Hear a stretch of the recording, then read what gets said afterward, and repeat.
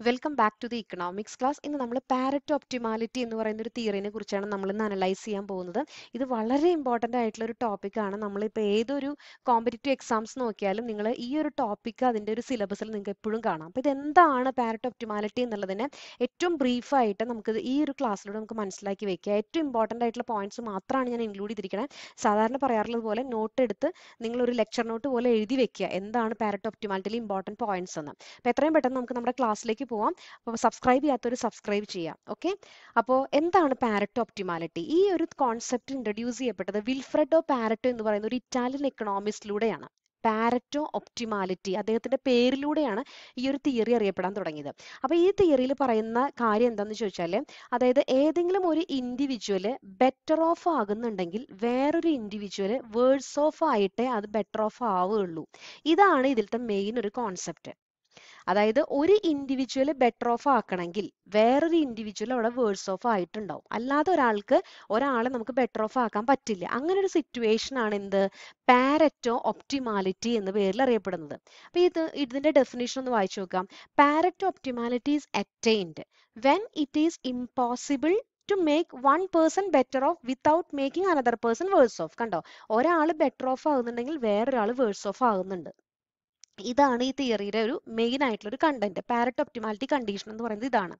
ഇനി ഇതിന് മെയിൻ ആയിട്ട് മൂന്ന് കണ്ടീഷൻസ് പറയും. Three marginal conditions must be satisfied ആയിരിക്കണം ഈ ഒരു പാരറ്റ് ഒപ്റ്റിമാലിറ്റിക്ക് ഈ കണ്ടീഷൻസ് എന്ന് പറയുന്നത് മൂന്നിലും പറയുന്നത് ഒരു എഫിഷ്യൻസിനെ കുറിച്ചാണ്. എന്തിലുള്ള എഫിഷ്യൻസിയാണ് ഒന്ന് എക്സ്ചേഞ്ചിനെ കുറിച്ച് പറയുന്നു മറ്റൊന്ന് പ്രൊഡക്ഷൻ മറ്റൊന്ന് efficiency in the composition of output composition of output എന്ന് വെച്ചാൽ എക്സ്ചേഞ്ചിന്റെയും പ്രൊഡക്ഷനും രണ്ടും കൂടി മിക്സ് ചെയ്ത് പറയുന്നതാണ് കോമ്പോസിഷൻ ഓഫ് ഔട്ട്പുട്ട് എന്ന് പറയുന്നത്. രണ്ടും ഇൻക്ലൂഡ് ചെയ്ത് പറയുന്നത്.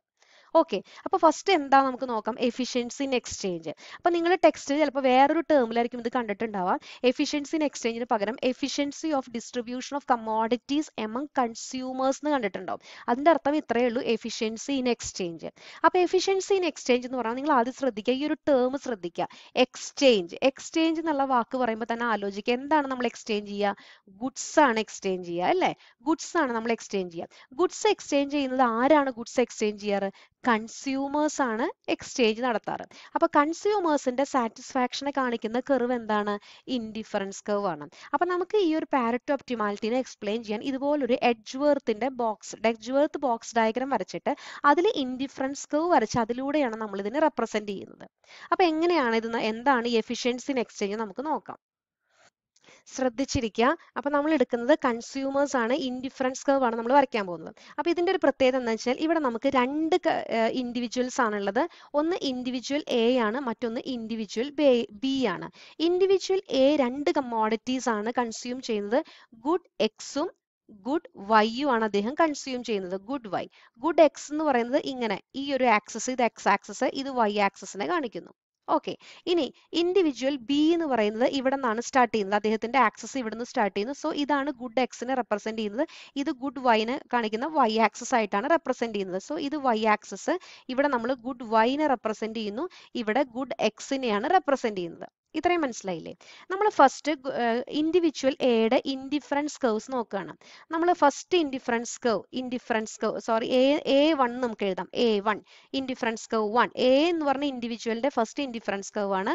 Then A two then A three then A four നാല് ഇൻഡിഫറൻസ് കർവിന് കാണിക്കുന്നു. So higher indifference curve represents higher level of satisfaction നമുക്ക് അറിയുന്നത് തന്നെയാണ് അത് അല്ലെ? അപ്പൊ ഇതാണ് ഇൻഡിവിജ്വൽ എയുടെ ഇൻഡിഫറൻസ് കർവ്സ് ഇനി ഇൻഡിവിജ്വൽ ബിയുടെ ഇൻഡിഫറൻസ് കർവ് നമുക്ക് ഇവിടെ കാണിക്കാം. അതായത് ബി എന്ന് പറയുന്നത് ഇവിടെ നിന്നാണ് സ്റ്റാർട്ട് ചെയ്യുന്നത്. സോ ഫസ്റ്റ് ഇൻഡിഫറൻസ് കർവ് ഇവിടെ ആയിട്ട് വരും എ ഫോറിലാണ് എ ഫോർ എന്ന് പറയുന്നത് ഇൻഡിവിജ്വൽ എയുടെ ലാസ്റ്റത്തെ ഇൻഡിഫറൻസ് കർവ് ആണ് ഇവിടുന്ന് കാണിച്ചിരിക്കണമെങ്കിൽ ഈ ഒരു ആക്സസ് ചെയ്യുന്ന ഈ ഒരു ബി എന്ന് പറയുന്നത് ഇവിടെ നിന്ന് സ്റ്റാർട്ട് ചെയ്യുമെങ്കിൽ ഇവിടെയാണ് ഫസ്റ്റ് ഇൻഡിഫറൻസ് കർവ് വരെ ഞാനത് വേറൊരു കളറിൽ വരച്ച് കാണിച്ചു തരാം. കണ്ടോ? ഇങ്ങനെ ബി വൺ ഇവിടെ നിന്നാണ് B one B two B three B four അപ്പൊ ഇവിടെ നിന്നാണ് സ്റ്റാർട്ട് ചെയ്യുന്നത്. ഇനി ഈ ഒരു എഫിഷ്യൻസി എക്സ്ചേഞ്ചിന്റെ കണ്ടീഷൻ എന്ന് പറയുന്നത് അതിനൊരു കണ്ടീഷൻ ഉണ്ട്. അതായത് പാരറ്റ് ഒപ്റ്റിമാലിറ്റി ആവണമെങ്കിൽ അതിന്റെ ഒരു കണ്ടീഷൻ പറയും. ആ കണ്ടീഷൻ എന്ന് പറയുന്നത് ശ്രദ്ധിച്ചിരിക്കുക. Marginal rate of substitution of A X of a that should be equal to marginal rate of substitution of xy of b. എന്ന് വെച്ചാൽ എന്താ അർത്ഥം? അതായത് ഈ ഇൻഡിഫറൻസ് കർവ്സിന്റെ സ്ലോപ്പിനെയാണ് നമ്മൾ മാർജിനൽ റേറ്റ് ഓഫ് സബ്സ്റ്റിറ്റ്യൂഷൻ എന്ന് പറയാം. അല്ലേ? അതിന്റെ ക്ലാസ് കാണാത്തവർ ഇത് കണ്ട് മനസ്സിലാക്കുക കേട്ടോ. അപ്പൊ marginal rate of substitution of A അതായത് ഇൻഡിവിജ്വൽ എയുടെ ഇൻഡിഫറൻസ് കർവിന്റെ സ്ലോപ്പും ഇൻഡിവിജ്വൽ ബിയുടെ ഇൻഡിഫറൻസ് കർവിന്റെ സ്ലോപ്പും ഈക്വൽ ആവുമ്പോഴാണ് പാരറ്റോ ഒപ്റ്റിമാലിറ്റി എന്നൊരു കണ്ടീഷൻ സാറ്റിസ്ഫൈ ചെയ്യുന്നത്. ഈ ഒരു കണ്ടീഷൻ എന്നുള്ളത് നിങ്ങളിത് കാണാണ്ട് പഠിച്ചു വെക്കുക നോട്ട് ചെയ്ത് വെക്കുക നോട്ടിൽ ഓക്കെ അപ്പൊ ഈ ഒരു പോയിന്റ് എവിടെയാണ് നമുക്ക് കിട്ടുക? നമുക്ക് ഇവിടെ അറിയാം. ഉണ്ടോ ഈ ഒരു പോയിന്റ് ഉണ്ട് ഇത് ജോയിൻ ചെയ്യുന്ന പോയിന്റ്സിലെല്ലാം രണ്ട് ഇൻഡിഫറൻസ് കർവിന്റെയും സ്ലോപ്പ് ഈക്വൽ ആണ്. അല്ലേ? അപ്പൊ നമുക്കത് ജോയിൻ ചെയ്ത് നമുക്ക് എങ്ങനെ കിട്ടും? ഞാനിപ്പോ ഇതിന് ജോയിൻ ചെയ്യണം. ഞാനിവിടെ മാർക്ക് ചെയ്യാം. പി ക്യു ആർ എസ് അപ്പൊ ഇതിനെ ഞാൻ ജോയിൻ ചെയ്ത് കഴിഞ്ഞാൽ ഇങ്ങനെ ജോയിൻ ചെയ്ത് കഴിഞ്ഞാൽ ഈ കിട്ടുന്ന ലൈനിനെ ഞാനിപ്പോ ടി ടി എന്ന് മാർക്ക് ചെയ്ത് വെക്കുക ഇതിനെയാണ് നമ്മൾ കോൺട്രാക്ട് കർവ് എന്ന് പറയാ. കോൺട്രാക്ട് കർവ് ഈ കോൺട്രാക്ട് കർവിന്റെ പ്രത്യേകത എന്താണെന്ന് ചോദിച്ചാൽ ഈ കോൺട്രാക്ട് കർവിൽ ദി പാരറ്റ് ഓപ്റ്റിമാലിറ്റി കണ്ടീഷൻ എല്ലാ പോയിന്റ്സും സാറ്റിസ്ഫൈ ചെയ്തിട്ടുണ്ടാവും. ഓക്കെ കോൺട്രാക്ട് കർവിലത്തെ ഓരോ പോയിന്റ്സും പാരറ്റോ ഒപ്റ്റിമാലിറ്റി എന്ന് പറയുന്നതിന്റെ കണ്ടീഷൻ സാറ്റിസ്ഫൈ ചെയ്തിട്ടുണ്ട്. പാരറ്റോ ഒപ്റ്റിമാലിറ്റി എന്ന് പറഞ്ഞാൽ എന്താ? ഒരു ഇൻഡിവിജ്വൽ ബെറ്റർ ഓഫ് ആകുന്നുണ്ടെങ്കിൽ വേറൊരു ഇൻഡിവിജ്വൽ അവിടെ വേഴ്സ് ഓഫ് ആയിട്ടുണ്ട്. ഇതാണ് പാരറ്റ് ഒപ്റ്റിമാലിറ്റി അപ്പൊ നിങ്ങൾ എക്സാമ്പിൾ വെച്ച് നോക്കിക്കൊള്ളാം ഇപ്പൊ പോയിന്റ് പി എന്ന് പറയുന്ന ഒരു പോയിന്റ് ഞാൻ എടുത്തു. ഈ പിയിൽ നിന്ന് ഞാൻ ക്യൂയിലേക്ക് ഷിഫ്റ്റ് ചെയ്തു. ക്യൂയിലേക്ക് ഷിഫ്റ്റ് ചെയ്യുമ്പോൾ പി എന്ന് പറഞ്ഞ പോയിന്റിൽ ഇൻഡിഫറൻസ് കവ് എ എന്ന് പറഞ്ഞ ഇൻഡിവിജ്വലിന്റെ ഇൻഡിഫറൻസ് കവ് എ വണ്ണും ബി എന്ന് പറയുന്ന ഇൻഡിവിജ്വലിന്റെ ഇൻഡിഫറൻസ് കവ് ബി ഫോറും ആയിരുന്നു. അല്ലെ? ക്യൂയിലേക്ക് ഷിഫ്റ്റ് ചെയ്തപ്പോൾ എന്ത് സംഭവിച്ചു? എക്ക് അവിടെ ഒരു ഇംപ്രൂവ്മെന്റ് സംഭവിച്ചു. എ വണ്ണിൽ നിന്നും എ ടുവിലേക്ക് ഷിഫ്റ്റ് ചെയ്തു. ഇൻഡിഫറൻസ് കവ് മാറി. ഹയർ ഇൻഡിഫറൻസ് കവിലേക്ക് ഷിഫ്റ്റ് ചെയ്തു. അതായത് അയാളുടെ അയാൾ ബെറ്റർ ഓഫ് ആയിട്ടുണ്ട്. പക്ഷെ ബിയുടെ സിറ്റുവേഷൻ എന്താണ്? ബി ഫോറിൽ നിന്നും എവിടേക്ക് പോയി? ബി ത്രീയിലേക്ക് മാറി. അതായത് ഇവിടെ ബി വേഴ്സ് ഓഫ് ആയിട്ടുണ്ട്. കണ്ടോ? അപ്പൊ എ ഇൻക്രീസ് ചെയ്തപ്പോൾ ബി വേഴ്സ് ഓഫ് ആവുകയാണെങ്കിൽ എന്താണ്? പാരറ്റ് ഒപ്റ്റിമാലിറ്റി കണ്ടീഷൻ സാറ്റിസ്ഫൈ ചെയ്യുന്നുണ്ടെങ്കിൽ ബി ഇംപ്രൂവ് ആവുമ്പോൾ എ വേഴ്സ് ഓഫ് ആവുകയാണെങ്കിൽ പാരറ്റ് ഒപ്റ്റിമാലിറ്റി കണ്ടീഷൻ സാറ്റിസ്ഫൈ ചെയ്തിട്ടുണ്ടെന്നാണ് ഇതിന്റെ അർത്ഥം. ഇനി ഈ ഒരു പോയിന്റ് നിന്ന് പുറത്ത് നിങ്ങൾ ഏത് പോയിന്റ്സ് എടുത്താലും ഇവിടെ ഒന്നും പാരറ്റ് ഒപ്റ്റിമാലിറ്റി കണ്ടീഷൻ ഇതിൽ സാറ്റിസ്ഫൈഡ് ആവില്ല. അതെന്തുകൊണ്ടാണ്? ഇപ്പൊ ഒരു എക്സാമ്പിൾ പറയാം. ഇപ്പൊ കെ എന്ന് പറഞ്ഞ ഒരു പോയിന്റ് ഇവിടെ എടുത്തു എന്ന് വിചാരിക്കുക. ഈ കെ എന്ന് പറഞ്ഞ ഈ ഒരു പോയിന്റിൽ നിങ്ങൾ നോക്കാം കെ എന്ന് പറഞ്ഞ പോയിന്റിലത്തെ എയുടെ ഇൻഡിഫറൻസ് കവ് എ എ വണ്ണും പിന്നെ അതുപോലെ തന്നെ ബിയുടെ ഇൻഡിഫറൻസ് കവ് ബി ത്രീ ആയിരുന്നു. ഇനി കെയിൽ നിന്നും പിയിലേക്ക് ഞാൻ മാറി കഴിയുമ്പോഴോ ബി ത്രീ എന്നുള്ളത് ഇവിടെ ബി ഫോറിലേക്ക് ഷിഫ്റ്റ് ആയി. അതേസമയം തന്നെ എ വണ്ണ് അതേ ഇൻഡിഫറൻസ് കർവിൽ തന്നെയാണ് എക്സിസ്റ്റ് ചെയ്യുന്നത്. അല്ലെ? എ വണ്ണിൽ തന്നെ നിൽക്കുന്നു. പക്ഷെ ബിക്ക് ഇമ്പ്രൂവ്മെന്റ് ഉണ്ടായി. അപ്പോൾ ഒരു ഇൻഡിവിജ്വലിന് വേഴ്സ് ഓഫ് സംഭവിക്കാതെ വേറൊരു ഇൻഡിവിജ്വൽ ഇവിടെ ബെറ്റർ ഓഫ് ആയി. അപ്പൊ പാരറ്റ് ഒപ്റ്റിമാലിറ്റി കണ്ടീഷൻ സാറ്റിസ്ഫൈഡ് അല്ല. പാരറ്റ് ഒപ്റ്റിമാലിറ്റി കണ്ടീഷൻ സാറ്റിസ്ഫൈഡ് ആവണമെങ്കിൽ എന്താണ് പറഞ്ഞത്? ഒരാൾ ബെറ്റർ ഓഫ് ആവുന്നുണ്ടെങ്കിൽ വേറൊരാൾ വേഴ്സ് ഓഫ് ആവണം. അതാണ് പറയുന്നത്. According to this marginal condition of efficiency in exchange we cannot increase the utility of one individual without decreasing the utility of the other individual അതിന്റെ കണ്ടീഷനാണ് പറഞ്ഞിരിക്കുന്നത്. ക്ലിയർ ആണോ? അപ്പൊ ഈ ഒരു കോൺസെപ്റ്റ് ക്ലിയർ ആയില്ലേ? ഇനി നമുക്ക് നെക്സ്റ്റ് സെക്കൻഡ് കണ്ടീഷൻ എന്ന് പറയുന്നതാണ് എഫിഷ്യൻസി ഇൻ പ്രൊഡക്ഷൻ അപ്പൊ നിങ്ങൾ ഇവിടെ ശ്രദ്ധിച്ചോളാം. ഇവിടെ പ്രൊഡക്ഷൻ എന്നാണ് പറയുന്നത് അല്ലെ? പ്രൊഡക്ഷൻ എന്ന് പറയുമ്പോൾ നമ്മൾ ഏതാണ് യൂസ് ചെയ്യാറ്? ഐസോക്കൻസ് ആണ് യൂസ് ചെയ്യാറ്. ഫേംസ് ആണ് പ്രൊഡക്ഷൻ എന്ന് പറയുമ്പോൾ നമ്മൾ കൺസിഡർ ചെയ്യുക. ഫേംസ് എന്ന് പറയുമ്പോൾ അവിടെ ക്യാപിറ്റലും ലേബർ ആണ്. ടു ഫാക്ടേഴ്സ് നമ്മൾ യൂസ് ചെയ്യുക. അപ്പൊ പ്രൊഡക്ഷനെ കാണിക്കുന്ന എന്താണ്? ലൈൻ ഐസോക്കൻസ് ആണ് അല്ലെ? അപ്പൊ ഐസോക്കൻസ് വെച്ചിട്ടാണ് നമ്മൾ ഇവിടെ എഫിഷ്യൻസി ഇൻ പ്രൊഡക്ഷൻ എന്നൊരു കോൺസെപ്റ്റ് നമ്മൾ എക്സ്പ്ലെയിൻ ചെയ്യുന്നത്. അപ്പൊ ഈ ഒരു കേസിലും ഇവിടെ നമ്മൾ ഫേം എ ഉണ്ട്. ഫേം ആണ് നേരത്തെ ഇൻഡിവിജ്വൽസ് ആയിരുന്നു. ഇവിടെ ഫേം എ ഉണ്ട് ഫേം ബി ഉണ്ട്. ഫേം എയുടെ ഇൻഡിഫറൻസ് കേഴ്സ് ആണ് A one sorry indifference curves isoquants ആണ് A one A two A three then A four അങ്ങനെ നാല് ഐസോക്കൻസ് നമ്മൾ വരയ്ക്കുന്നു. ഇനി ഫേം ബിയുടെ ഐസോക്കൻസ് ഇതുപോലെ തന്നെ നമുക്ക് ഈ ഒരു ഇതിൽ നിന്നാണ് അതായത് ഈ ഒരു ആക്സിസിൽ നിന്നാണ് നമ്മൾ സ്റ്റാർട്ട് ചെയ്യുന്നത്. അതുപോലെ തന്നെ നിങ്ങൾ ശ്രദ്ധിക്കുക ഇപ്പൊ ഫോം എ ആണെങ്കിൽ ഫേം എയുടെ ക്യാപിറ്റലും ലേബറും അവിടെ യൂസ് ചെയ്യുന്നുണ്ട്.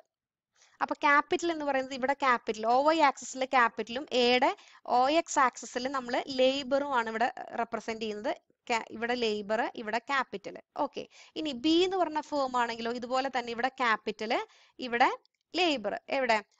ഒ എക്സ് ആക്സസിൽ ലേബർ ഒ വൈ ആക്സസിൽ ക്യാപിറ്റലാണ് അത് റെപ്രസെന്റ് ചെയ്യുന്നത്. ഇനി ഒ ബി അല്ല സോറി ബി എന്ന് പറയുന്ന ഫേമിന്റെ ഐസോക്കൻസ് അതുപോലെ തന്നെ ഇവിടെ നിന്നാണ് നമ്മൾ സ്റ്റാർട്ട് ചെയ്യുക അല്ലേ? അപ്പൊ ഇവിടെ എ ഫോർ ഇവിടെ ലാസ്റ്റ് ഐസോക്കൻസിനെ കാണിച്ചു. ഹയർ ഐസോക്കൻസിൽ പോകുന്തോറും ഹയർ ഔട്ട്പുട്ടിനെയാണ് അത് റെപ്രസെന്റ് ചെയ്യുന്നത് അല്ലെ? അപ്പൊ ഇവിടെ നിന്ന് ബി എന്ന് പറയുന്നതോ അപ്പൊ ഇവിടെ നിന്നാണ് ബി വൺ ഇവിടെ നിന്ന് സ്റ്റാർട്ട് ചെയ്യും. B one B two B three B four ഇങ്ങനെയാണ് വരയ്ക്കേണ്ടത്. കണ്ടോ? അപ്പൊ ബി വൺ ഇപ്പൊ ഇതിന്റെ ഒരു കണ്ടീഷൻ എന്ന് പറയുന്നത് അതായത് പാരറ്റ് ഒപ്റ്റിമാലിറ്റിക്ക് ഈ എഫിഷ്യൻസി ഇൻ പ്രൊഡക്ഷനിൽ പാരറ്റ് ഒപ്റ്റിമാലിറ്റിനെ സാറ്റിസ്ഫൈ ചെയ്യുന്ന കണ്ടീഷൻ എന്ന് പറയുന്നത് എന്തായിരിക്കും? അതായത് ഈ ഐസോകെൻസിന്റെ slope M R T S അല്ലെ? Marginal rate of technical substitution technical substitution of firm A L K that is equal to marginal rate of technical substitution of firm B. Labour and capital കണ്ടോ? അപ്പൊ ഇത് രണ്ടും equal ആവുന്നതാണ് എന്തിന്റെ condition ഈ efficiency in പ്രൊഡക്ഷനിലെ Pareto ഒപ്റ്റിമാലിറ്റിയുടെ condition എന്ന് പറയുന്നത്. ക്ലിയർ ആയോ? ഇനി ഈ ഒരു കേസിൽ നോക്കുക ഈ ഒരു സ്ലോപ്പ് അതായത് ഫേം എയുടെ സ്ലോപ്പും ഫേം ബിയുടെ സ്ലോപ്പും ഈക്വൽ ആവുന്ന പോയിന്റ്സ് അതായത് ഇപ്പൊ ഞാൻ ഇവിടെ പി ക്യൂ ആർ എസ് എന്ന് മാർക്ക് ചെയ്യുകയാണെങ്കിൽ ഇപ്പൊ ഇതിന് ഈ ലൈൻസിനെല്ലാം ഞാൻ കണക്ട് ചെയ്ത് കഴിയുമ്പോൾ എനിക്ക് കിട്ടുന്ന ഒരു ലൈൻ ടി ടി എന്ന് ഞാൻ മാർക്ക് ചെയ്തു വീണ്ടും എന്ന് കഴിഞ്ഞാൽ ഇതാണ് ഇതിന്റെ കോൺട്രാക്ട് കർവ് അപ്പൊ ഈ കോൺട്രാക്ട് കെർവിൽ നേരത്തെ എക്സ്പ്ലെയിൻ ചെയ്ത പോലെ തന്നെ ഇതിലത്തെ എല്ലാ പോയിന്റ്സും പാരറ്റ് ഒപ്റ്റിമാലിറ്റി കണ്ടീഷനെ സാറ്റിസ്ഫൈ ചെയ്യുന്നതാണ്. നേരത്തെ പറഞ്ഞ അതേ എക്സ്പ്ലനേഷൻ തന്നെ ഇവിടെ ഒരു ഫേമിന്റെ ബെറ്റർ ഓഫ് ആവുന്നുണ്ടെങ്കിൽ വേറൊരു ഫേം അവിടെ വേഴ്സ് ഓഫ് ആവുന്നുണ്ട്. അതാണ് ഇതിന്റെ ഒരു പാരറ്റ് ഒപ്റ്റിമാലിറ്റിയുടെ കണ്ടീഷൻ ആ കണ്ടീഷൻ സാറ്റിസ്ഫൈ ചെയ്യുന്ന പോയിന്റ്സ് ആണ് ഏത്? ഈ കോൺട്രാക്ട് കേർവിലത്തെ ഓരോ പോയിന്റ്സും ഇതിന് പുറത്തുള്ള പോയിന്റ്സ് ഒന്നും തന്നെ ഈ ഒരു പാരറ്റ് ഒപ്റ്റിമാലിറ്റി കണ്ടീഷനെ സാറ്റിസ്ഫൈ ചെയ്യുന്നില്ല. ക്ലിയർ ആയില്ലേ? ഇനി അതാണ് ഞാനിവിടെ എക്സ്പ്ലെയിൻ ചെയ്ത് വെച്ചിരിക്കുന്നത് കേട്ടോ. നേരത്തെ പോലെ തന്നെ നിങ്ങൾ അത് എഴുതിയെടുത്ത് മനസ്സിലാക്കി പഠിക്കാം. ഇനി അടുത്തതാണ് ഏത്? Efficiency in production and exchange അതാണ് efficiency in composition of output നിങ്ങൾ ടെക്സ്റ്റുകളിൽ കാണും. ഇതിൽ പറയുന്നത് നിങ്ങൾ ശ്രദ്ധിക്കുക പ്രൊഡക്ഷനും ഉണ്ട് എക്സ്ചേഞ്ചും ഉണ്ട്. പ്രൊഡക്ഷനെ കാണിക്കാനായിട്ട് നമ്മൾ ഇവിടെ യൂസ് ചെയ്യുന്നത് പ്രൊഡക്ഷൻ പോസിബിലിറ്റി കേവ് ആണ്. പ്രൊഡക്ഷൻ പോസിബിലിറ്റി കേവ് ആണ് അതുപോലെ തന്നെ അതായത് രണ്ട് ഗുഡ്സ് പ്രൊഡ്യൂസ് ചെയ്യുന്നു രണ്ട് ഫാക്ടേഴ്സ് ഉപയോഗിച്ചിട്ട് അല്ലെ?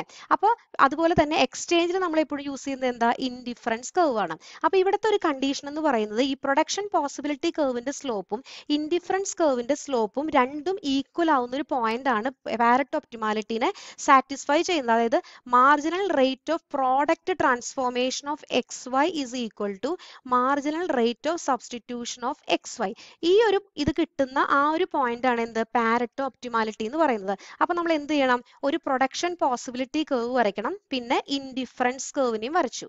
കണ്ടോ? ഇത് ഇൻഡിഫറൻസ് കേവ് ആണ്. ഇത് പ്രൊഡക്ഷൻ പ്രൊഡക്ഷൻ പോസിബിലിറ്റി കേവ് ആണ്. ഇതിന് ഇതിന്റെ രണ്ടിന്റെ സ്ലോപ്പ് ഈ സ്ലോപ്പ് ഇത് ഈക്വൽ ആവുന്ന ഒരു പോയിന്റ് പോയിന്റ് ഇ ഈ ഒരു പോയിന്റിലാണ് എന്ത്? ഇത് രണ്ടും ഈക്വൽ ആവുന്നത്. അതായത് സ്ലോപ്പ് ഈക്വൽ ആവുന്ന പോയിന്റിലാണ് പാരറ്റ് ഒപ്റ്റിമാലിറ്റി കണ്ടീഷൻ സാറ്റിസ്ഫൈ ചെയ്യുന്നത്. ഈ ഒരു പോയിന്റിൽ നിന്ന് വേറെ എവിടെ പോയാലും ഈ ഒരു കണ്ടീഷനെ സാറ്റിസ്ഫൈ ചെയ്യില്ല. എന്ത്? പാരറ്റ് ഒപ്റ്റിമാലിറ്റി കണ്ടീഷനെ സാറ്റിസ്ഫൈ ചെയ്യില്ല. അതാണ് efficiency in production and exchange efficiency in composition of output എന്നുള്ളത്.